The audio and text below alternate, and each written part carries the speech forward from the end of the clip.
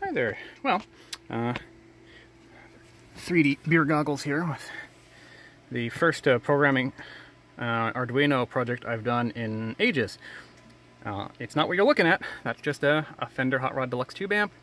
We've got twin 6L6s and some nice off-the-shelf. These are a kit uh, Bias Scout probes. These are kind of nice for doing current measurements because they give us current and voltage. There's a set of 1% resistors for the uh, that provide a voltage divider that take your you know 400 odd volts and turns it into a nice small number like 45 millivolts. And, but we follow now normally you'd use uh, that with a multimeter and I got tired of doing that so I built this. It's about the same size as one multimeter. Now if you're monitoring two tubes you'd need two multimeters to do it kind of quickly and then you still have to switch back and forth between the red and the white to get your voltage and then your plate current and then back and forth to to work out uh, exactly how many watts you're doing. Because usually it would be me with two if I'm doing a, a bake-in test I'd be doing two multimeters plus a website you know punching a web form in to keep track of the bias current and our target value. So now this kind of does it all in one. So when it first turns on it can run off uh, an internal 9 volt or right now I'm running it off a, a USB adapter but uh, we get an option to select our tube. You can kind of expand this. I put all the popular common tubes I encounter on a daily base on on a daily basis in. So in this case we have uh, also, you might note, multiple variations of 6L6 family tubes, including the originals, which are lower wattage than uh, the GCs that are more common. So we're using a GC series, so we'll open that up. Now the top row, of course, our tube. Second row is uh, at the top here, that's 100% wattage of that tube is 30 watts, and then we have 50, 60, and 70 common biasing intervals. Then A and B is uh, our two probes inputs. Measure gives us a within roughly 1% the uh, plate voltage, the the current going through the cathode, our total calculated wattage for that, uh, percentage relative to the max rating on the tube, and the uh, delta, the difference between the two tubes, just to keep an eye on whether or not uh, they're running completely out of whack at a, at a glance. But there it is. It's uh, pretty simple hardware internally. It's uh, an, an, Arduino Nano uh, running uh, with an, a um, pretty high resolution, I think it's a 16-bit uh, ADC board that's four channels, so it's just enough.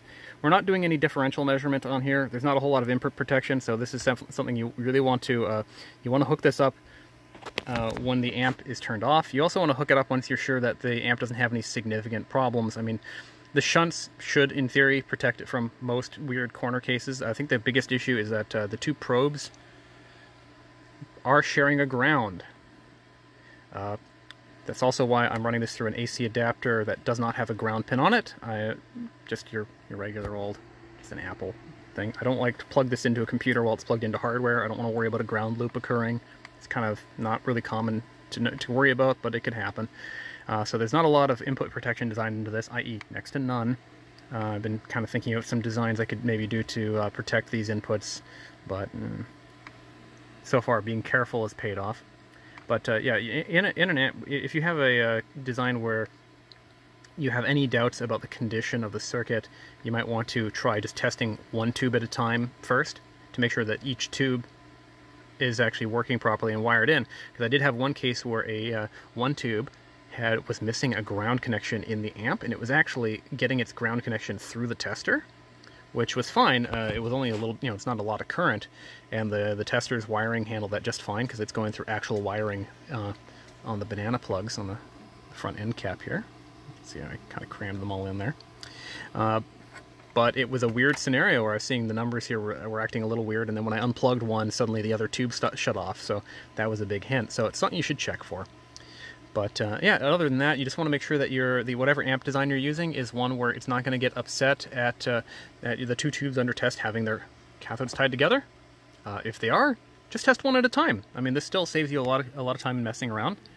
Uh, it gives you a direct readout. You don't have to uh, mess around with uh, too much math. Just pick out your tube, take your measurements, and you can see it actually adjusts fairly fast. If we're going to the trim pot adjust. So let's just say, let's say we want to adjust this to, uh, say 60% dissipation. We can actually Just tweak her a little. These tubes aren't perfectly matched, but they're pretty close.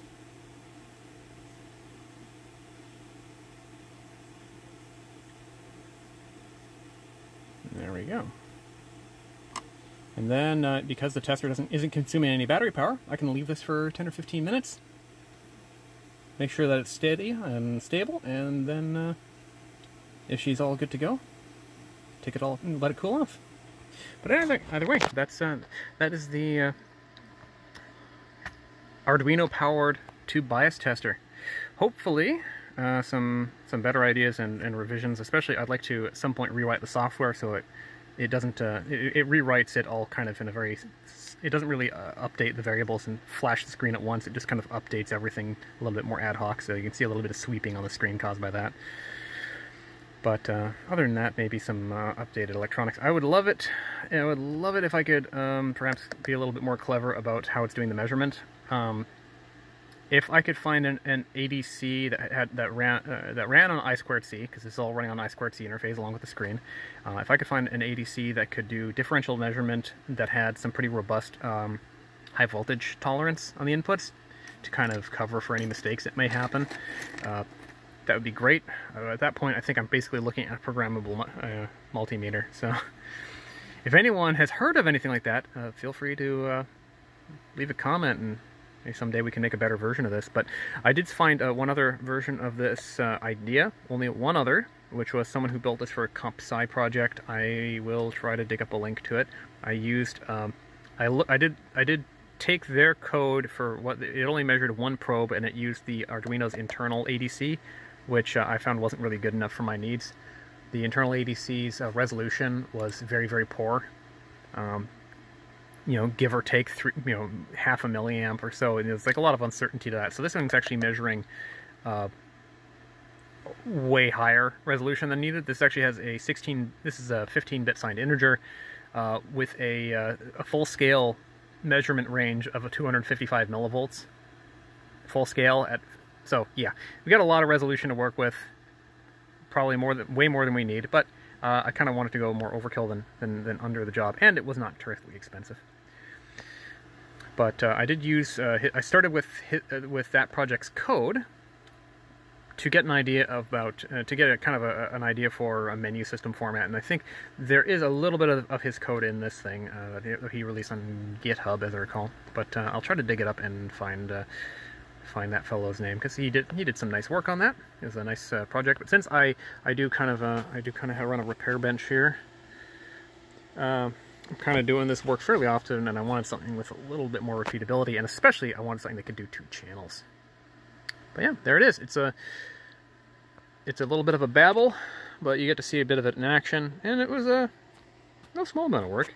I hadn't done any uh, real programming work in uh, quite a few years, so it was uh, fun building a building a system for this and getting a handle on how Arduino worked. First time I felt motivated to work on an Arduino in ages. Alright, well, thanks for watching, and uh, yeah, leave a comment if you have any ideas for how this could be improved, or things that uh, you think would be a good idea to do with it.